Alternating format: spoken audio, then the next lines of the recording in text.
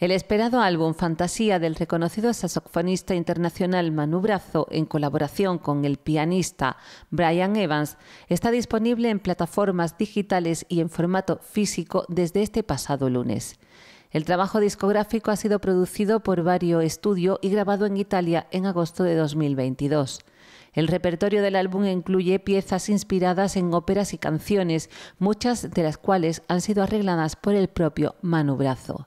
Se trata del tercer trabajo discográfico del saxofonista de Utrera, que lanzó su primer EP en junio de 2020, creado durante el confinamiento en Londres como una historia de superación personal y profesional.